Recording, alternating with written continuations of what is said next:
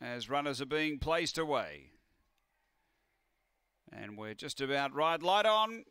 Best of luck, punters. Race 12. We're set to go. Ready here at Gawler.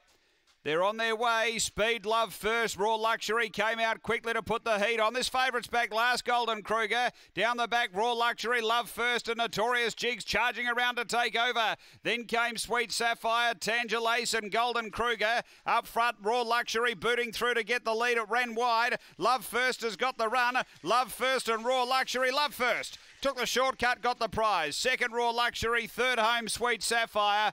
Uh, then came Notorious Jigs. Tangelace and Golden Kruger, very uncharacteristic back at the tail. The time 23.04.